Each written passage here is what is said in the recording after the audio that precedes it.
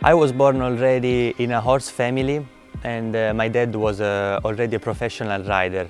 My mom instead was uh, his groom and um, I started straight away competing in national show uh, with pony around five or six years old and uh, instead my um, international competition started around 15, 16 as a junior.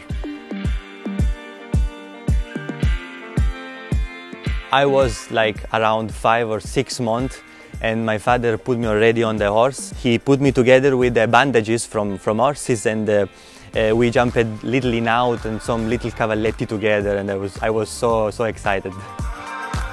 My first uh, trainer was of course my dad. Uh, we still work together and I'm uh, really happy to do this.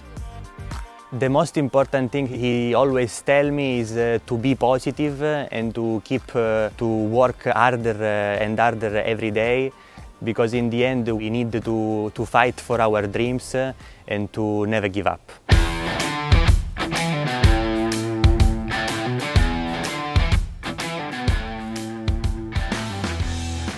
I understood uh, that I really wanted to be a professional rider. Um, I think uh, as a junior, um, after my first international show, also I really wanted to follow my father. He really inspired me and uh, I wanted to follow him.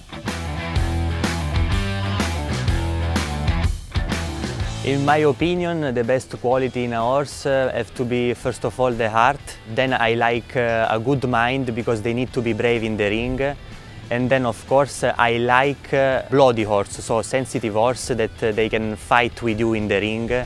And uh, in the end, when they have this mix all together, they are a warrior that uh, fight with you in the ring.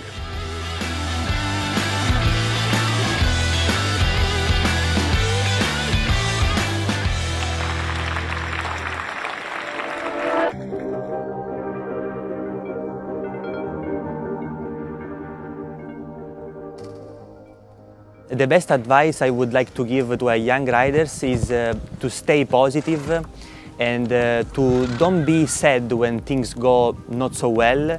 In the end, um, experience is so important in the ring, so we cannot buy experience, we need to do it.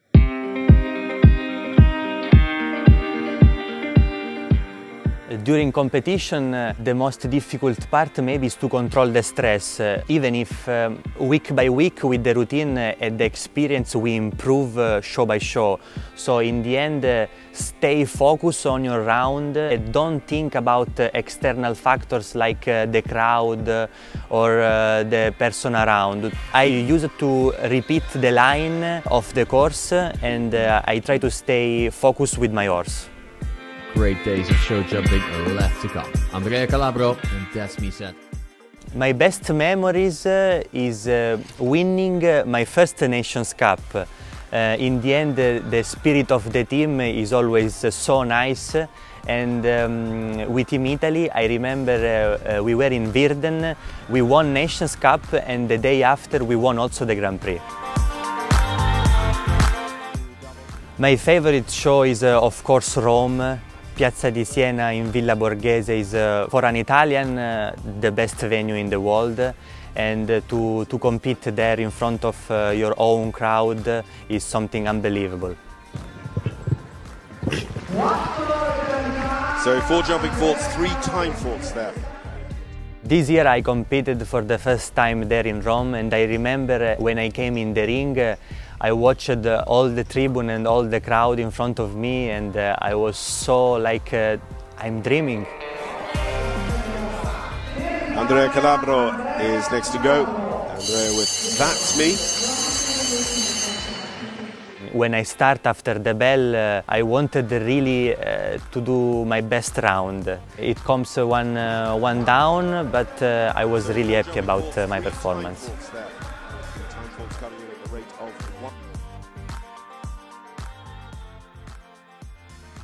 I really like uh, light riders on the saddle. The best example I think are uh, Steve Guerdat or Kevin Staut or our Lorenzo De Luca.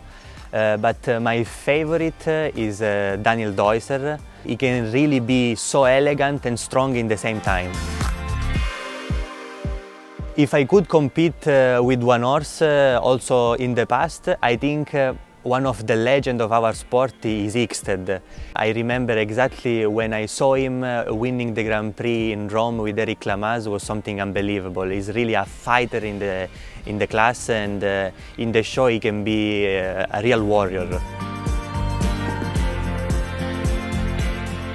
My dream, uh, well, if I have to dream, uh, I want to dream big. So be on the podium on the Olympics.